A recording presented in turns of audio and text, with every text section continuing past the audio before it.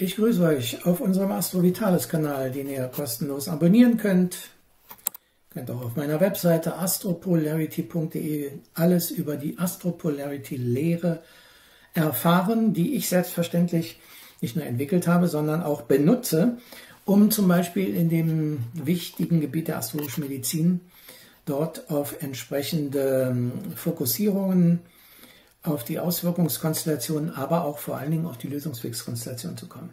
So, ich blende es mal ein. Wir haben hier ein Geburtsbild von einer ganz jungen Frau, die hat mit, also die ist jetzt glaube ich Anfang 30, die hat mit 28 Jahren einen Herzinfarkt gehabt. Eine der Herzinfarktkonstellationen, es gibt da fünf, sechs, sieben verschiedene, ist aber, und das ist eine sehr massive Konstellation dafür, Uranus-Pluto. Das finden wir hier, indem der Pluto in 11 steht, eine Uranus-Pluto-Konstellation. Und das ist dann also auch als Auswirkung zu verstehen, weil der Infarkt sozusagen eine körperliche Form der Auswirkung von Uranus-Pluto ist. Ähm, wenn man schaut, ich mache das hier in Kurzform mal durch äh, im Sinne von Auswirkung, Ursache und Lösungsweg. Wenn man mal schaut, äh, was denn die eigentliche Ursache für diesen äh, Uranus-Pluto, für den Herzinfarkt ist, dann muss man an die Felderspitze gehen, an der äh, das Zeichen ist, was zu dem entsprechenden Fokusplaneten gehört. Und das ist der Pluto, dazu gehört der Skorpion und der Skorpion ist am 12. Das ist Neptun, Pluto oder Pluto-Neptun. Und das ist ja eine ganz, ganz tiefgründige, sehr dunkle und sehr, ich sag mal, vereinfacht hier, ich will nicht in die tiefen psychologischen Analogien jetzt gehen, ähm, eine sehr ähm, mystische und sehr geheimnisvolle Konstellation.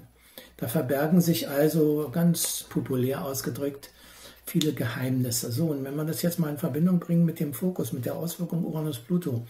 Was ist Uranus-Pluto? Uranus-Pluto ist eine Konstellation, bei der das Männliche bei dem entsprechenden Menschen, egal ob Mann oder Frau, stark geschwächt ist.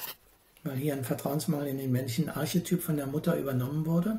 Das ist auch bei dieser Frau so gewesen. Äh, die Mutter von dieser Frau war, hat, hat sich scheiden lassen von dem Vater äh, der Frau, äh, weil die da schwer enttäuscht war. Das ist das typische Uranus-Pluto-Enttäuschungserlebnis, diese unbewusste Enttäuschungsbereitschaft. Und die, ist, die Tochter hat das übernommen. So, und jetzt war es so, die hat ihren Infarkt bekommen, nachdem sie einen Mann kennengelernt hat, Klammer auf, dem sie aber unbewusst nicht vertraut hat, und wo ursächlich im Grunde genommen irgendein mystisch geheimnisvolles, also auf keinen Fall deutliches eine, keine deutliche Substanz der Beziehung zu sehen war. Das ist jetzt alles vielleicht ein bisschen kryptisch, was ich sage, weil ich kann unmöglich bei der kurzen Zeit jetzt hier in die, in die Tiefe gehen. Aber diese Frau hat Angst gehabt vor dem. Unabhängig von dem Vertrauensmangel, den sie sowieso un, unbewusst in die Männer, Männer hat. Äh, Im Sinne dieser ähm, unbewussten Enttäuschungsbereitschaft. Die hat einfach auch Angst vor ihm gehabt. Mir hat sie erzählt, der kam ihr vor, wie, wie so aus der Finsternis kommt, ja. Irgendwie faszinierend, aber irgendwie auch überhaupt nicht. Und sie hat dann ein paar Wochen, nachdem sie ihn kennengelernt hatte, da war sie also noch, noch mit ihm zusammen, hat sie einen Infarkt bekommen. Puh. Okay, sie hat sich dann von dem Mann getrennt, weil der sich auch nicht weiter gekümmert hat, glaube ich, so war das. Ähm, wie ist hier der Lösungsweg? Das ist ja ganz wichtig. Lösungsweg hm, findet man, indem man auf die Fokuskonstellation geht, das ist der Pluto in 11. Da geht man an die Felderspitze, in denen der Planet steht. Das ist 11, da ist die Waage und zur Waage gehört die Venus. So, und diese Venus, die steht hier im siebten Feld. Das ist interessant, ja, die steht im siebten Feld und sagt, und das ist hier der reine Archetyp, das ist ganz wichtig, ja, weil wir haben einerseits die Waage an 11 und dazu gehört die Venus und die steht aber in 7. Und Venus in 7, Waage Venus in 7 ist Waage Venus 7. Also Waage Venus. Das ist der reine Archetyp und das heißt begegnen. Das heißt, was die Frau auf jeden Fall tun muss, ist im Sinne der Fokuskonstellation sich klarzumachen, dass sie sich irrt, wenn sie generell annimmt, dass Männer schwach sind, dass man denen nicht vertrauen kann. Ja, da gibt es ja einen entsprechenden Heilsatz, auch den ich dann oft in solchen Fällen sage. Ähm, auch für mich gibt es einen Mann, dem ich vertrauen kann und so weiter und so weiter.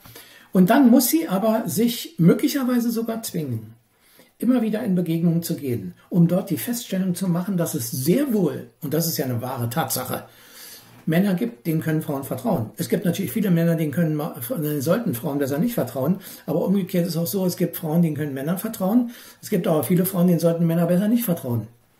Also es gibt immer so eine und solche. Hier ist es ja dieser, bei Uranus Pluto, dieser sogenannte generalisierte Vertrauensmangel in den männlichen Archetyp und das ist schlicht ein Irrtum.